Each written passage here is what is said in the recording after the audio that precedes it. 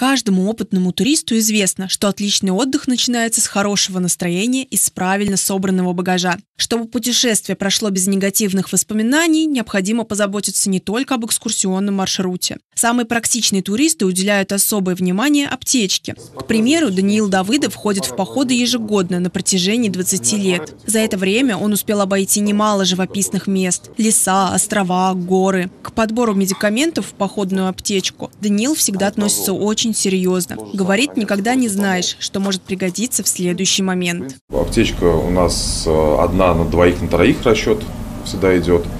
То есть, э, чтобы не было там, что на 120 человек один пакетик. Берем с собой. Во время Советского Союза у нас был список такой. По нему идет основа, плюс дополнительные какие-то более современные препараты. Особое внимание, отмечает турист, стоит обратить на следующие препараты. Антигистаминные на случай разнообразных отеков, лекарства от отравления, заживляющие мази и, конечно же, знакомые всем с детства йод и бинт. Правда, по словам специалистов, аптечка вряд ли спасет, если туристы не будут соблюдать элементарные правила безопасности. Самый главный залог безопасности туриста – это его осознанное безопасное поведение. Наверное, все-таки самое главное сейчас – это безопасность на воде.